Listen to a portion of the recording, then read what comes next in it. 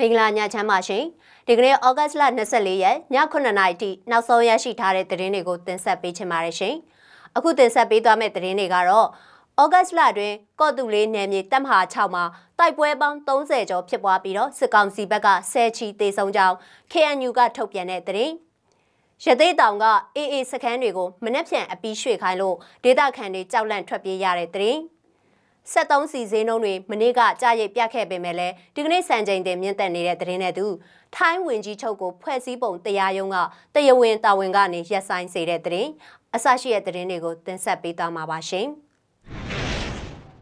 ပထမဆုံးတင်ဆက်ပေးခြင်းတဲ့သတင်းကတော့ဩဂတ်စ်လ1ရက်နေ့ကနေ20ရက်နေ့ထိကရင်အမျိုးသားအစည်းအရုံးကော့တူလေးနယ်မြေဒူးပလာယာခိုင်တပ်မဟာ6နယ်မြေထဲမှာစစ်ကောင်စီနဲ့ KNU ပူးပေါင်းတပ်တွေကြားတိုက်ပွဲပေါင်း33ပွဲဖြစ်ပွားခဲ့ပြီးအဲ့ဒီတိုက်ပွဲတွေမှာစစ်ကောင်စီဘက်က48ဦးသေဆုံးတယ်လို့ KNU ကထုတ်ပြန်လာပါတယ်။တမဟာ6နယ်မြေထဲမှာတော့ကရင်အမျိုးသားလွတ်မြောက်ရေးတပ်မတော် KNLA တမဟာ6လက်အောက်ကတပ်ရင်းတွေဖြစ်တဲ့တပ်ရင်း16တက်ရင်16တက်ရင်18တက်ရင်29တက်ရင်200တဲ့ကရင်အမျိုးသားကာကွယ်ရေးတပ်ဖွဲ့ဗဟိုလုံခြုံရေးတက်ရင်တဲ့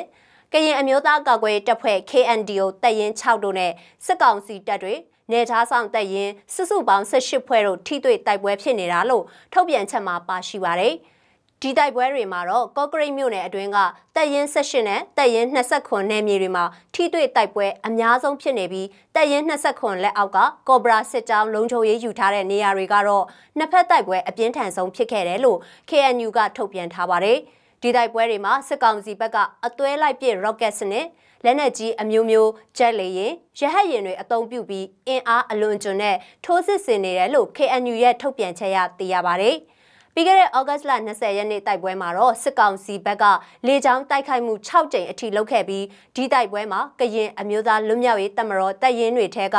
2ဦးသေဆုံးပြီးတော့16ဦးဒဏ်ရာရခဲ့တယ်လို့ထုတ်ပြန်ထားပါတယ်။ ဒါပြင်စစ်ကောင်စီရဲ့လေကြောင်းတိုက်ခိုက်မှုတွေနဲ့ပြစ်ခတ်မှုတွေကြားမှာအယက်သားပြည်သူတအုပ်သေဆုံးခဲ့တယ်လို့ဒေသခံ6000ကျော်ဟာလည်းနေရက်ကိုစွန့်ခွာထွက်ပြေးနေရပြီးစစ်ဘေးရှောင်အရေးအတွက်ဟာဒီထက်ပိုများနိုင်တယ်လို့လည်းကရင်အမျိုးသားအစည်းအရုံး KNU ကထုတ်ပြန်ထားပါတယ်ရှင်။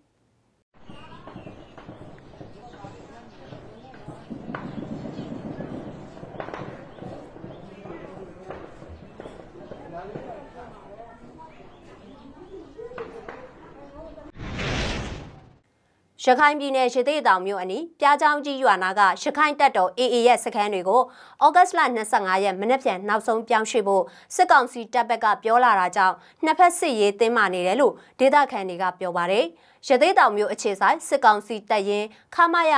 936 939နဲ့938တွေရဲ့ဗျူဟာမူဟာမြို့နယ်အထွေထွေအုပ်ချုပ်ရေးဦးစီးဌာနကနေတဆင့်ကျေးရွာအုပ်ချုပ်ရေးမှုတွေထံအကြောင်းကြားလာတာလို့ဒေသခံတွေကပြောပါတယ်။ အေအေဘက်ကလည်းပြောင်းရွှေ့ပေးမဲ့အခြေအနေမမြင်ရလို့တိုက်ပွဲတွေဖြစ်လာမှာစိုးရိမ်ပြီးဘေးလွတ်ရာကိုထွက်ပြေးနေကြရတယ်လို့လုံခြုံရေးအရာအမိမဖော်လို့တဲ့ဒေတာခန်တုပ်ကပြောကြောင်း RFA ရဲ့သတင်းတရက်မှာဖော်ပြထားပါတယ်။ဒါကြောင့်အဲ့ဒီရွာအနီးကပြားချောင်းကြီးအလဲရွာပြင်ကောင်ရွာတဲ့ပြင်ကောင်ရွာဟောင်းစတဲ့ရွာတွေကဒေသခံတထောင်ကျော်လောက်ဟာရသေးတောင်မြို့ပေါ်နဲ့နီးစပ်ရာရွာတွေကိုထွက်ပြေးသွားပြီလို့လည်းဆိုပါတယ်ရှင်။ 73စီဈေးနှုန်းတွေဟာဩဂတ်စ်လ23ရက်မနေ့ကကြားရိပ်ပြခဲ့ပေမဲ့လည်းဒီကနေ့ဩဂတ်စ်လ24ရက်နေ့မှာတော့စံချိန်တင်မြင့်တက်နေကြောင်း73စီအယောင်းဆိုင်တွေစီကသိရပါတယ်။ဩဂတ်စ်လ23ရက်မှာ92တလီတာ2390ကျပ်ကနေ2930ကျပ်95တလီတာ2480ကျပ်ကနေ2995ကျပ်ထိနေရာဒေသလိုက်ဈေးနှုန်းတွေရှိခဲ့ပါတယ်။ဒီကနေ့ဩဂတ်လ24ရက်မှာ92တလီတာ 2440ကျပ်ကနေ2885ကျပ်95တလီတာ2525ကျပ်ကနေ2995ကျပ်ထိနေရာဒေသလိုက်ဈေးနှုန်းတွေဖြစ်ကြောင်းစစ်ကောင်စီရဲ့ဓာတ်ဆီတင်သွင်းတူလောင်ဖြန့်ဖြူးခြင်းလုပ်ငန်းကြီးကြပ်ရေးကော်မတီရဲ့ထုတ်ပြန်ချက်အရသိရပါတယ်ရှင်။ထိုင်းဝင်ကြီးချုပ်ကိုဖွဲ့စည်းပုံတရားရုံးကတရားဝင်တာဝန်ကနေရပ်ဆိုင်းလိုက်ပါပြီ။ ထိုင်းဝန်ကြီးချုပ်ရဲ့တက်တန်းအကန့်အသတ်ကိုတရားဥပဒေအရပြန်လည်သုံးသပ်ခြင်းရဲ့ရလဒ်အနေနဲ့ထိုင်းဖွဲ့စည်းပုံတရားရုံးဟာဝန်ကြီးချုပ်ပရာရွတ်ချန်အိုချာကိုတာဝန်ကနေဒီကနေ့ဩဂတ်လ24ရက်နေ့မှာတရားဝင်ရက်ဆိုင်လိုက်တာပါနိုင်ငံရဲ့2019ဖွဲ့စည်းပုံဥပဒေဟာဝင်ကြီးချုပ်ကိုစုစုပေါင်း၈နှစ်ထက်မပိုတဲ့တာဝန်ထမ်းဆောင်မှုကိုကန့်သက်ထားပြီး2014အာဏာသိမ်းမှုနဲ့အာဏာရယူခဲ့တဲ့ပရာယွတ်ဟာအကန့်အသတ်ကိုရောက်ရှိနေပြီဖြစ်တယ်လို့အတိုက်ခံပါတီတွေကပြောပါတယ်။ ဒါပေမဲ့ပရာယွတ်ဟာလက်ရှိစစ်တပ်ကမူကြမ်းရေးဆွဲတဲ့ဖွဲ့စည်းပုံဥပဒေအသက်ဝင်တဲ့2019ကမှဝင်ကြီးချုပ်ဖြစ်လာသူဒါမှမဟုတ်တော်တော်လေးနှောင့်နှေးခဲ့တဲ့ရွေးကောက်ပွဲတွေမှာအနိုင်ရပြီး2019ခုနှစ်ကဝင်ကြီးချုပ်ဖြစ်လာသူအနေနဲ့ထောက်ခံသူတွေကပြောဆိုကြပါတယ် ပရာယုဟာ2020ခုနှစ်တွင်အစိုးရဆန့်ကျင်တဲ့ဆန္ဒပြမှုတွေအကြက်တဲကြားရောက်ခဲ့တဲ့ COVID-19 ကပ်ဘေးစီးပွားရေးရိုင်းတဲ့ခြင်းနဲ့နိုင်ငံရေးအောင်မြင်မှုတွေမရှိတဲ့ကြားကပဲရာထူးတာဝန်ကိုဖက်သွဲထားခဲ့တာပါလက်ရှိမှာတော့သူကိုယ်တိုင်ကြီးကြပ်ခဲ့တဲ့ဖွဲ့စည်းပုံနဲ့ပဲတာဝန်ကနေရက်ဆိုင်ခံလိုက်ရတာပါ စစ်ဦးစီးချုပ်ဟောင်းဖြစ်ပြီးရေရှည်နိုင်ငံရေးလှုပ်လာခဲ့သူအသက်89နှစ်ရွယ်ဒုတိယဝန်ကြီးချုပ်ပရာဝစ်ဝမ်ဆူဝန်ကအစိုးရဝါစဉ်ရဂျားဖြတ်ဝန်ကြီးချုပ်ဖြစ်လာဖို့ရှိတယ်လို့လည်းသိရပါတယ်ရှင်။